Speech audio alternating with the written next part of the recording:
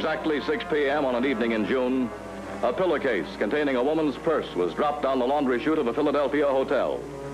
The purse contained $25,000. The source of the money and why it changed hands in so furtive a manner is the subject of tonight's Crusader, starring Brian Keith.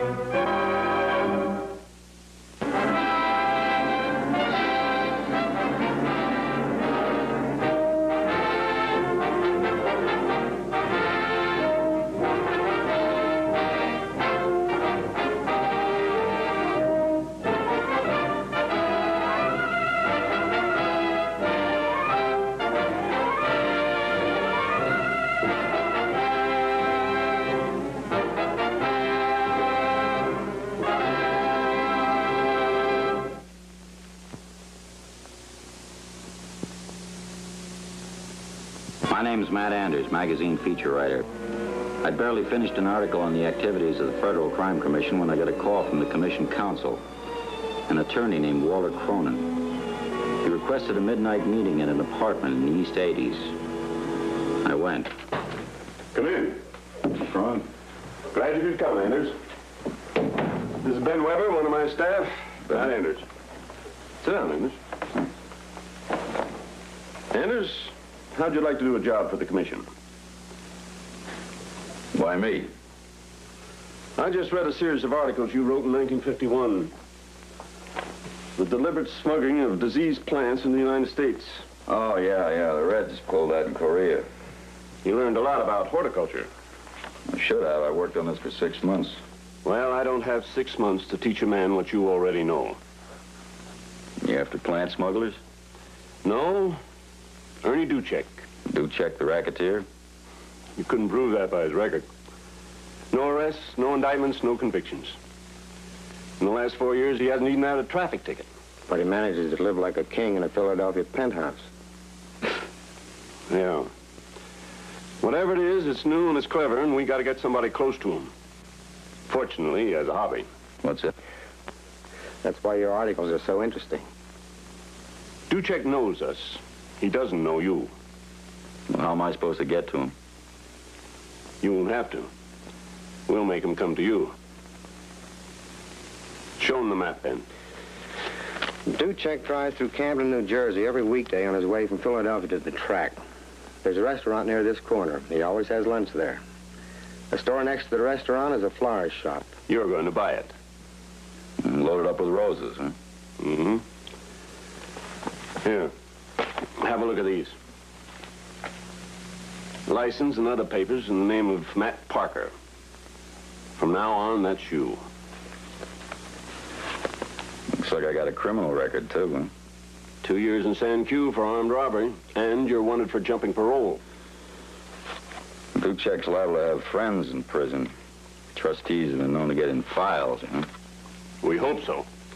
If one does, he'll find a record on you. Buy it? Yeah.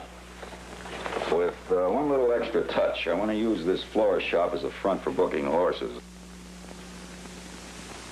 I figure Duchek will open up a lot faster if he knows I'm making a dishonest buck. We'll go with it. Ben will drop you off near home. Oh, and leave all future contact to us, hmm? All right?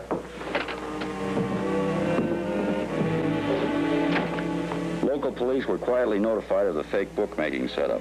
Cronin and Ben Weber arranged for the staff to phone in bets periodically. Meanwhile, they kept the shop supplied with a variety of roses, including bush cuttings. It was three weeks before we hit the right one.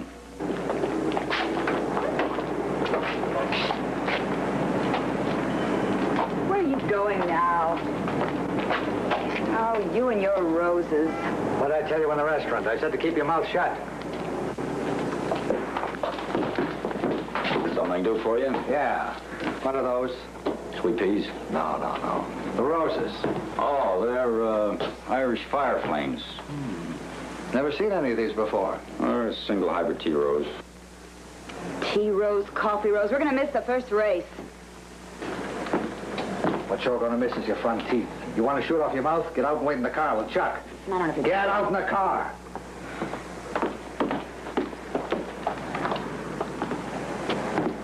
She's horse happy. Got cuttings on these? Well, I got a few. They're not very good, though. You, you know anything about roses? I raise them. Excuse me.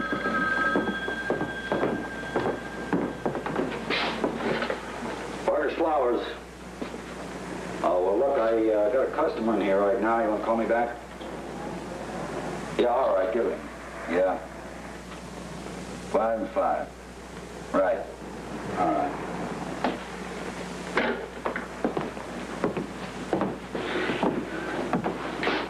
Sorry, Mr. Uh, Ernie Duchek. Had this place long? about a month. Last fellow who was here was Gardenia happy. Never had anything in the window but gardenias. Sorry.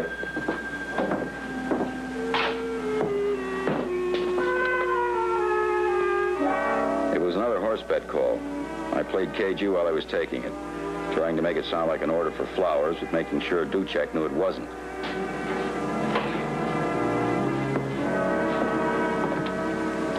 Do a nice phone business. Yeah, we do all right. Now, you want some of those bushes? I can order them for you. Sure, you do that. How much action you booking? It's on your mind. Nice front. Most of the boys use pay booths in candy stores, so they haul up in some cellar. You give the business a little class. You sell flowers. You book horses. I know a phone bet when I hear one. I give you nine to five. I can find bet slips in a scratch sheet.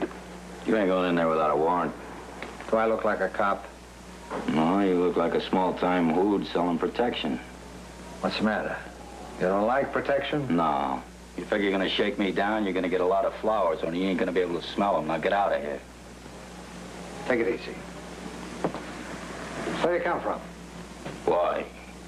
It ain't from around here, or you'd know. Ernie Duchek don't cut in on no two-bit bookie joints. We ain't no society leader. I'm no small-time hood. Ask around. And don't forget to order them bushes. I'll be back.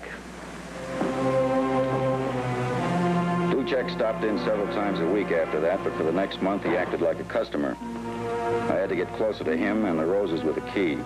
I sold him a bush that was showing faint traces of black rust. When he transplanted it, I knew the disease would spread to the rest of his roses.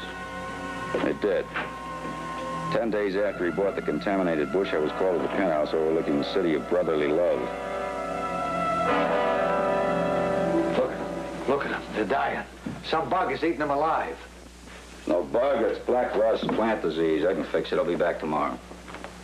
What's the matter with right now? What do you want me to do? Breathe on him? I gotta get some stuff. Whatever you need, I'll get it. Chuck! Chuck! What are you trying to do? Wake up the dead? Where is he? You crazy or something? You know where you sent him. Okay, then you'll have to go out. Tell her what to get. I have sulfur and Fermate in these quantities right here. A couple of hand sprays, that's all.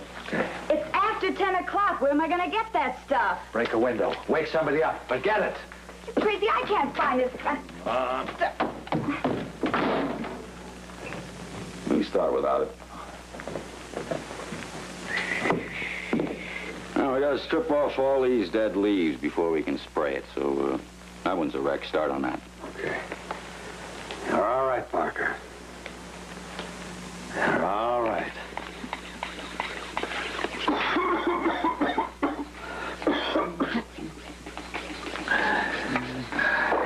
It's almost two o'clock. That's the last one. Want a drink? No, you go ahead. Betty! Come on, come on. Snap out of it. Fix me a drink. Chuck's back. Where is he? He's in the kitchen eating. Tell him I want him. Oh, don't move. I'll breathe for you. Oh.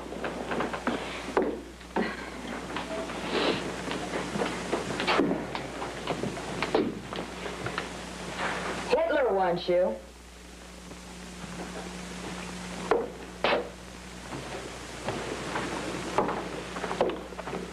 When'd you get back? An hour ago. How'd it go? Parker's all right. It was easy. No rumble? No. Good.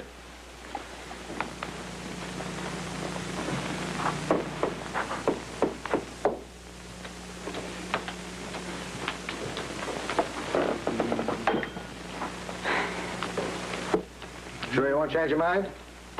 No. Parker, how'd you like to work for me? I don't like working for anybody. No. Where you gonna get with a flower shop and a crummy book? Want to grow roses? Grow 'em here. For how much? Plenty. Same as Chuck gets. About a hundred thousand a year. You find yourself another sucker.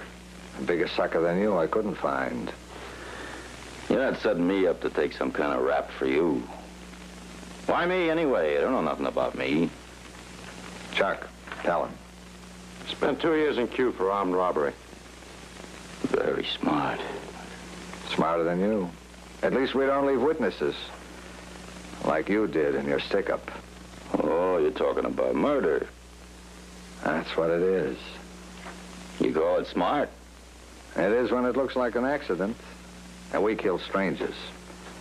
Now, where's a murder rap without a motive? Well, you gotta get paid someplace. Insurance money. Are you kidding? Insurance companies check up on you as soon as you file a claim. Do you think I insure myself? Guys get married. Some are sorry they did. A businessman decides he hates his partner. Sometimes a guy insures his mother-in-law. And sometimes they just get tired of waiting for people to die. So we help them. For half the policy. So, uh, how you collect? Why don't you stay here tonight? Chuck will take you for your things in the morning. And we'll explain the details later. Like when? After you've made your first kill.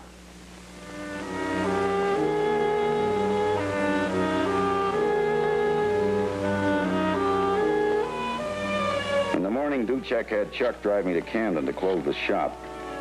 I convinced him it wouldn't look good if I didn't cancel the lease and return the stock to the wholesalers. I had to take a chance on dialing a special contact number Walter Cronin had given me. Hello? I made it sound like a business call. Cronin got the idea right away. We'll have somebody there this afternoon, Mr. Parker. Trouble? I don't know. He's closing the shop. Couldn't he talk? No, somebody must be breathing down his neck. You better go to Philly. Take Rennie with you. Buy work clothes and borrow a truck from a wholesale florist. I want the score as soon as you know. Right.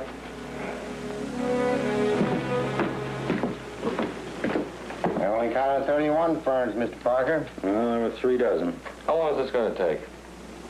I don't know till he learns how to count. Ernie's waiting. Well, call him. I didn't ask you to hang around here. It's disconnected. What are you trying to do? Save a few bucks for your old age? I'll use the one in the restaurant. All right, what's their line? Very nice. Murder syndicate. They cut up insurance money. I'm pulling you out right now. Oh, you can't do that. You're gonna smell it. and You'll never get close to him. You got any line on that guy? And Chuck Donnelly? Yeah, we got to make on him. He pulled a single bit in Dannemora for A and B with a deadly weapon. We drove Duchek to the track yesterday and came back with him, but somewhere between 6 o'clock last night and 1 o'clock this morning, he killed somebody. In Philly? Too close to home. He couldn't have gone far, except by air. We'll take his mug shot down to the airline stewardesses. Must have been a short flight. He probably landed around 12 o'clock, so find out what city he was in. They'll check the local police for a murder. No, fatal accident. They like the double indemnity clause. Besides, the beneficiary will have an airtight alibi. Takes 10 days before a claim is paid. And you're going to need help from the banks. Beneficiary will collect half in cash. So I have it paid in marked bills. You're calling it, Matt. But I'm going to alert all law enforcement agencies. Don't slip up any place or they'll kill you. Only one place I can slip up. Where? It's when they send me out to kill somebody else.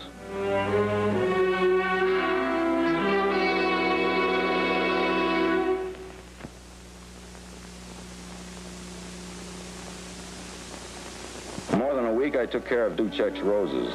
During that time, it was impossible for me to make contact with Cronin or Weber. When Duchek went to the track, he took me and the others along. And one afternoon, he didn't go. Hello? All right. Now do exactly what I told you. Six sharp and make sure you got the right time. All right. Bye. Baltimore pay office ready. Who goes? Betty. You got an hour. Take a bus to downtown. Walk through a couple of department stores, then grab a cab to the Hotel Chalet. Get there about five minutes to six. Go down the service stairs to the basement. Find the laundry room. There's a chute. At six sharp, a blue pillowcase will come down. Be a woman's handbag in it with the money. So don't take a purse with you. Come back as soon as you make the pickup. Look, I'll uh, walk down the bus with her. I want to get some cigarettes. There's a whole carton in the kitchen. I haven't been out all day. That's all right. Maybe you'll be out all night. You think I'm that easy to cross? Look, I just want to get some air. You want to grab that dough for yourself? I'm not making any around here.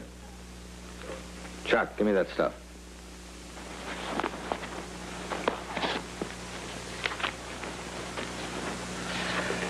Her name is Lorraine Belker.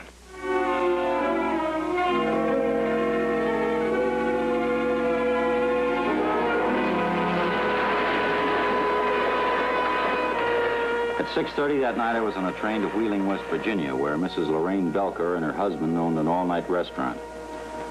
Chuck stayed right on me until the train pulled out. He pretended to leave, but I saw him swing back on again a couple of cars behind. The train was a milk run type. It didn't miss a whistle stop. But I couldn't get off and phone without Chuck seeing me.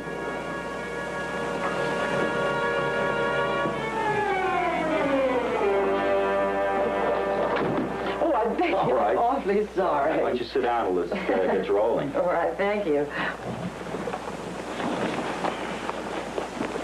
Would you care to look at one of these? No, thanks. It's Chuck Donnelly in this car. Who are you? Miss Freeling. I'm a secretary with the commission. Weber was following you. He saw Donnelly get on the train. He's two cars back. How did you get here? Passed you on the limited, and waited at the last station. I get off in Allentown and relay any messages you have. I'm supposed to kill a woman in Wheeling. Her name is Lorraine Belker. I don't know if you can remember all of it. I'll take it down in shorthand. Just keep an eye on the rear platform in case Donnelly comes through. I briefed her on the setup as quickly as I could. By the time the conductor called a stop at Allentown, she had it all.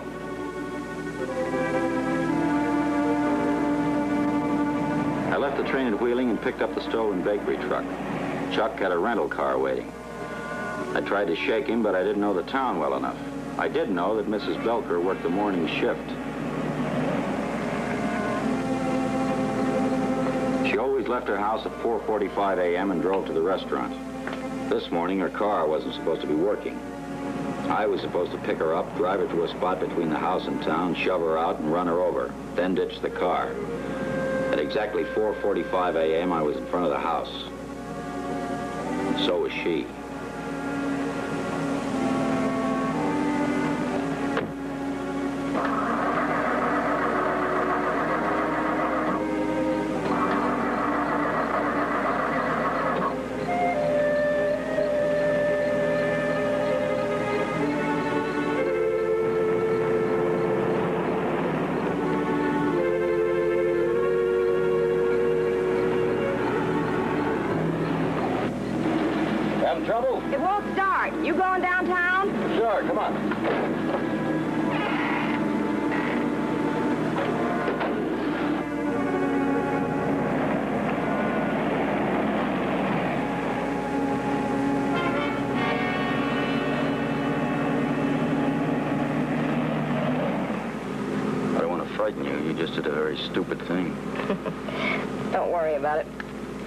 A policewoman. Cronin called us. We've got Mrs. Belker in protective custody. Got any instructions for me? You still being followed? About a block behind us. Keep straight ahead. I'll tell you what turns to lose him on. When you get clear, drop me and go back to Duchek. What's the idea? We'll tell Belker his wife is dead, then accuse him of conspiracy. We may get a confession. Meanwhile, Cronin wants Duchek to think it's business as usual. Was a killing in Baltimore. I know. Same game as this one, hit and run with a stolen car. Man insured his business partner for 50000 double indemnity. He's in Philadelphia now. They'll take him when he makes a payoff. It's already been made. Impossible. His room has been watched. He should have watched his laundry. Take this right.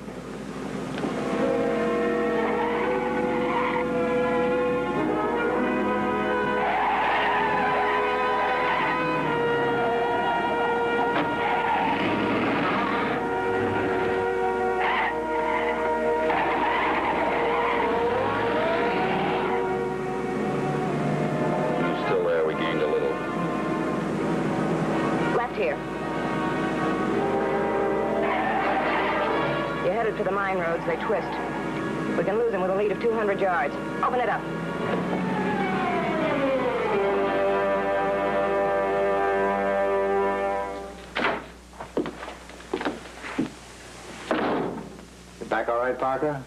Fine. Job all done? Yep. That's nice to know. So when do I get paid? Everything went okay in about a week. If not, maybe sooner. Chuck's parking the car. I just picked him up at the airport. He was out of town, too. His plane got in a little later than yours. Parker says everything went okay in Wheeling. That's nice. Yeah, it was a simple job. I'll talk, you listen. Chuck followed you. Oh. You followed me. Stop it. Stop it or I'll pull it all right through the middle of your back. He followed me. You know he did. You lost him deliberately. What didn't you want him to see? I don't know it was him. It could have been the Wheeling cops. I'm driving around in a hot truck with a dame. You knew it was me. How? You gonna recognize somebody looking through a rear mirror in the middle of the night? A guy a block behind you? What if I got picked up for speed and trying to lose him? Nah, you didn't. That's enough! What'd you let him do it for? He wanted to make sure of you. And so did I.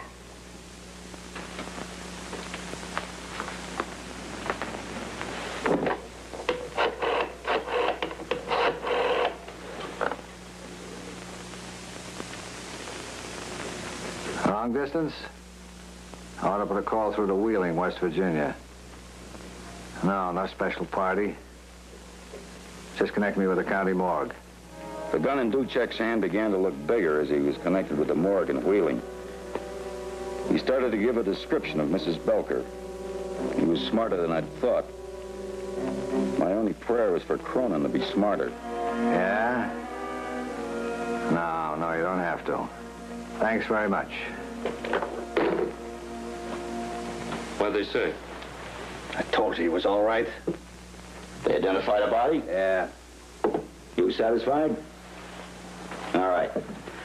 Now, uh, I don't like being treated like I'm in jail around here, and I'd like to get a little of that uh, money I got coming, too. Want a couple hundred now? Yep.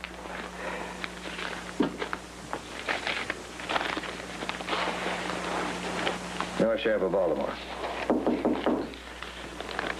She forgot the key again.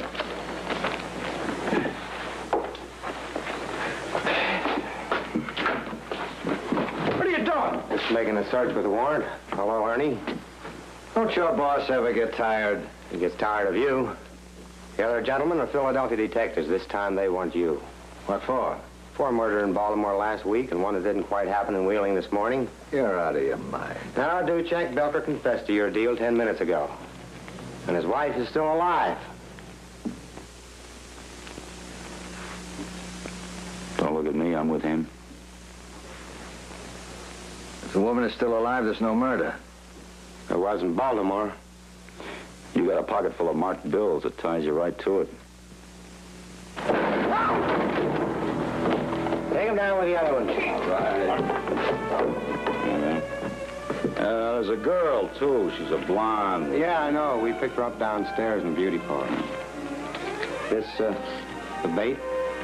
Not nice? Prove it myself.